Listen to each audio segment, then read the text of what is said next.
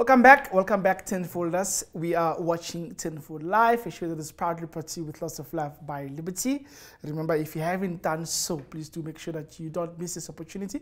Go to your App Store and download our app. It's called the Tenfold Education app. It's a very powerful resource for anybody doing grade 10, 11, or 12 mathematics or sciences. You do want to make sure that you have yourself this very, very useful app.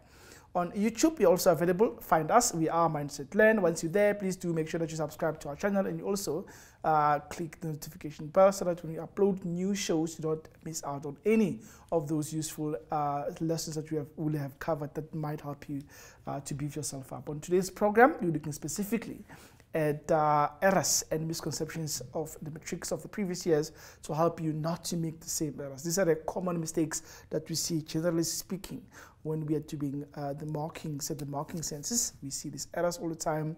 We don't want you to make the same mistake, so we thought as Tenfold Live that it will be a good idea to actually share with you these uh, errors and misconceptions to help you not to make the same mistake. So we are now going to go to part three. We're looking at paper two, and our next section is going to be focusing on the errors and misconceptions that we generally see when you are doing trigonometry. Right. Now, like, like, like I said, we are now looking at specifically part three, which is going to be trigonometry.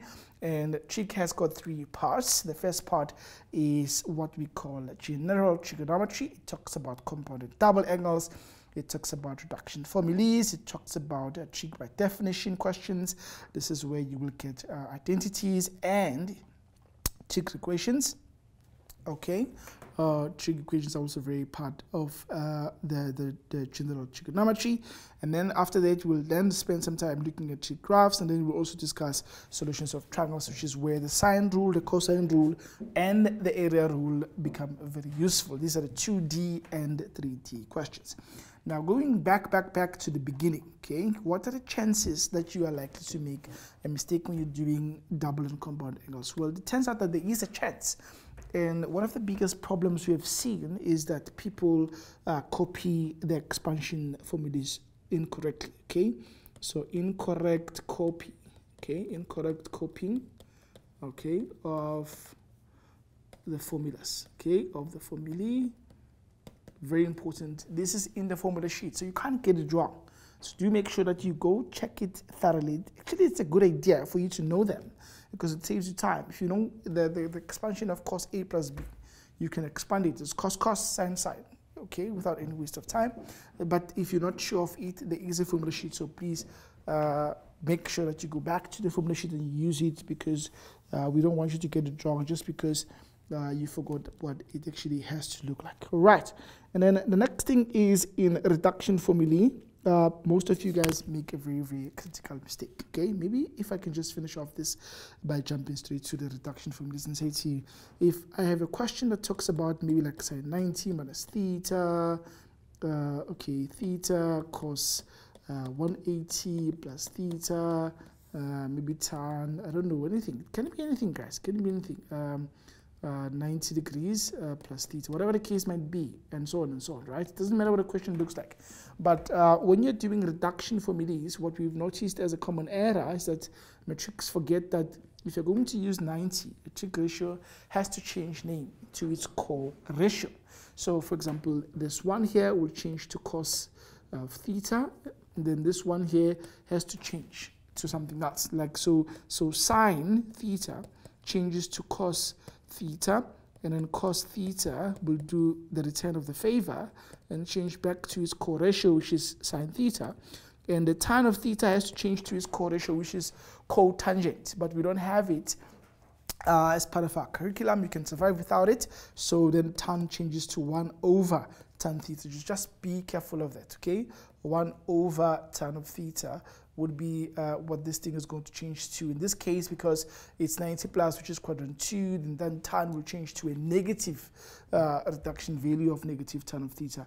Just trying to get you to understand that the popular mistake we see when we're doing reduction formulas is that the kids do not know, do not, it's not that they don't know, you guys know, but you just take these things for granted. So please, please, please be careful when you're doing that.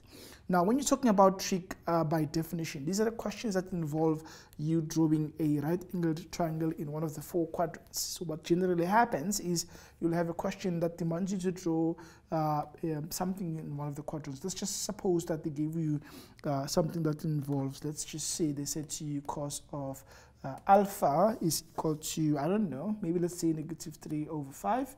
And then they say um, uh, alpha is an angle that lies between 90 degrees not 90 let's just say 180 degrees and 360 degrees. Okay.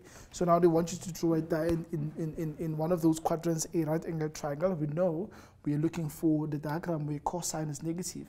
And that has to be between 180 and 360 this is actually the third and fourth quad okay third and fourth quad covered so your question is which quadrant will it be the third or the fourth turns out that we'll have to draw a diagram in the fourth quad. Now, what I want you to notice is that the common error that we see is that when people do this, they know for a fact that the x coordinate is negative 3 here because cos is x over r. They don't know what the y coordinate is and they know that the r value is equal to 5. So they would like construct a angle triangle here and then they're trying to find out what the value of y is going to be. Of course, Pythag helps us to be able to work out what this is going to be. And Pythagoras said x squared plus y squared is equals to r squared. Now, when you sub your stuff here, please don't just write negative 3 squared plus y squared is equals to 5 squared. There's a big, big, big, big, big error here of not putting negative 3 in brackets. This here will put you in a lot of problems because it's going to give you negative 9. So that's an error. Do make sure that you use your brackets. Okay, 5 squared is going to be 25 with or without brackets, but it's just good practice for you to put them in brackets because the negative ones will always have a different answer. Negative 3 squared is negative 9, but negative 3 in brackets squared will give you an answer of positive 9. Okay, okay, very, very important. And now when you are solving this further, you will notice that uh, in your attempt to work out what the y value is going to be, you will have to get to a point where y squared is equals to 16. Now, now another mistake we see is that people just say y squared is the square root of 16 and they give us an answer of 4. And I'm sure you'll agree with me based on the location of the diagram. There is no way that y is going to be negative or uh, positive. It has to be negative. So you have to uh, include the plus minus when you're taking the square root. So it's going to be plus minus 4. And then uh, we have to obviously take a decision at this point to say which of those y values would be the correct y value. And it turns out that negative 4 would be the one that we are actually uh, looking for. So uh, there's another error right in there. Always, always make sure that when you're doing your Pythag, you put your, your numbers, the values, the numerical values in bracket, particularly if they're negative. And then after that, always, always, always make sure that when you are getting the answer of the unknown y value or the unknown x value, it's either plus or minus. In fact, I think it's wiser for us to discuss the fact that x, uh, uh, y, and r. For x, can be plus or minus depending on where the diagram is. Y can be plus or minus divide, depending on the diagram is, but R will always be positive only. Okay, it doesn't have, we, don't, we can't have an R value of negative. And somebody's wondering somewhere like, why? Well, why is it called R in the first place? It's because of the fact that R actually uh, stands for the radius of a circle, which we're actually discussing here that you don't see. The full diagram of this thing is supposed to have a circle around, and this circle is supposed to look uh, something like that. Okay, and in a circle, there is no way the radius of the circle would be negative because the radius is the measure of the length or the distance from the center of the circle to the circumference of the circle. So in this case, r is 5. It doesn't matter what you're doing, where you are. When you're looking for r in these questions, your r is always, always, always going to give you a value that happens to be positive. All right, now moving right along to trig identities. When you're doing identities, uh, what are the general problems that we have? Number one, the misconception or the errors that we get is that you guys don't know that tan, tan theta, okay, is equals to, is it cos over sine or sine over cos? Some people might say tan theta is cos theta over sine theta. We don't know this, and this is actually very wrong. At this point, you are in grade 12. You should know that tan theta is sine theta divided uh, by cos theta. So this version here, beautiful people, is the incorrect one. The correct version would be this one here of sine theta over cos theta. And it is so easy because in your calculator, they actually put the buttons in order that helps you to understand the correct order. If you forget it, just grab your calculator and look at the trig ratios. Just focus on the trig ratios. I'm looking at the trig ratios where the sine, cos, and tan. If you look at them, you'll see that the very first button is sine. Okay, so I'm going to write them down. So the sine theta, sine is the first button, and then there's another pattern, and then there's another pattern. Okay, let's look at them again one more time. You'll see that sine is the best first pattern, and then after sine, the following pattern is cos, and then after that, the last pattern is tan. So this is going to help you not to make a mistake when you're dealing with these things. So just remember, looking at them in that order, sine divided by cos equals tan. So sine over cos equals tan. It's in your calculator. You can't get it wrong. Do not do, do make sure that you don't make that mistake and you understand what is going on. Right. The next thing that we get in identities is the fact that when you've got the left hand side and the right hand side, okay, do not mix them up. You can't take, take stuff from the left, move to the right. This is wrong. You can't take stuff from the left and move to the right. That will also be wrong. You need to work out the left hand side independently. Okay, left hand side independently and then work out the right side independently and trying to show that one of the sides is going to be the same as the other one. So please, please, please, do make sure that you don't make that mistake. Maybe in lastly, in closing, the last thing that I want to say about identities is the algebra. The algebra, your algebra, guys, is bad. Bad, bad, bad, bad, bad. All the time when you actually looking at this section, you guys make mistakes uh, when it comes to algebra. There's a lot of ideas that come from algebra that are used to try and prove identities, okay? Uh, for example, squaring a binomial when you're squaring a binomial, grade 12s, we've been seeing this, we are seeing it again, a plus b squared is not a squared plus b squared. Please, that is so wrong, okay? It's two of them. It's a plus b and a plus b, so you guys have to make sure that you both two of these, and then you do the Lord's work. You go FOIL, okay? You'll end up with a squared plus 2ab add it with uh, b squared. Very, very important. Don't make this error. That's the first thing. The second mistake is when you've got fractions, okay?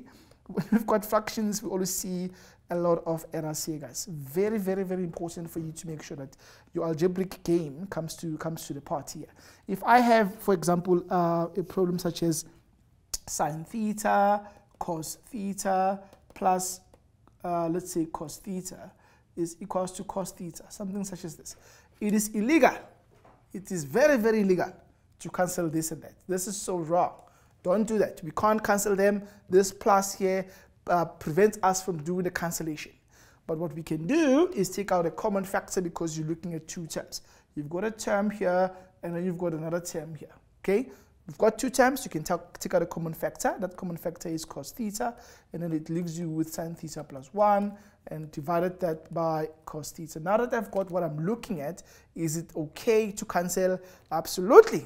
Absolutely, because we now multiply it's the bracket multiplied by cos and then now you are only allowed to cancel at this point.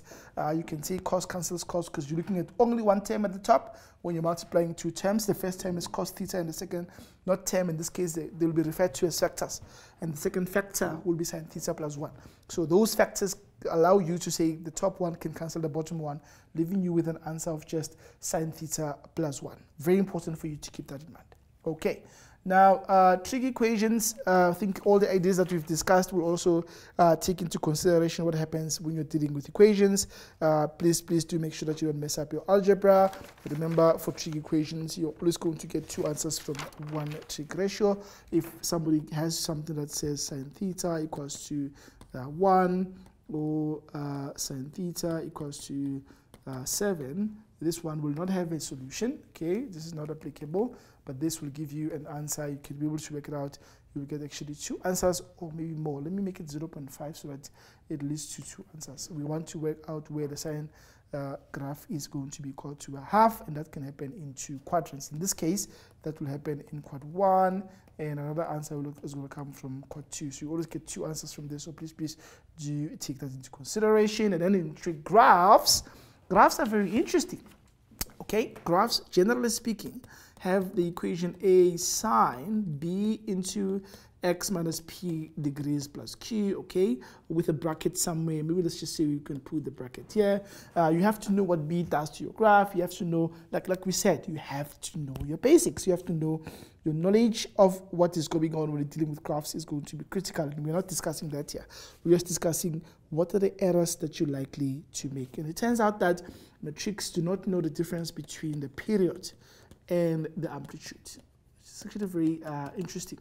because I would have imagined that these are very straightforward. The period is how many angles it takes you to see one full graph. And then um, if you ever asked to work out the period and you've got the equation for sine or for cos, your period is going to be 360 degrees divided by b. But for tan, your period is going to be 180 degrees divided by b. And somebody's asking, what is b? Well, b is actually this coefficient of x that we have over there. It's this number here that you have over there. Whatever it is in the equation, you just divide by it. You'll be able to get what the period of the sine or the cos graph is and what the period of the tan graph is going to be. For the amplitude here, the absolute value of the amplitude is going to be the highest number minus the smallest number divided by 2. Amplitude just tells you how high from the rest position you get to if you are looking at a sine graph and a cosine graph. Please note that the tan graph has no amplitude because it does not have a maximum. It goes on and on to infinity until the second coming. Somebody's asking me, what are those bars? Well, that's the absolute value. There's a button in your calculator that's written ABS. You can use it. Uh, that absolute value just implies that it always comes out as a positive value. You cannot have a negative amplitude. Okay, that's number one. Number two, it's only for sine and cos. Tan graph does not have an amplitude because it goes up forever and ever and it goes down forever and ever. It does not have a stop in terms of moving up and down.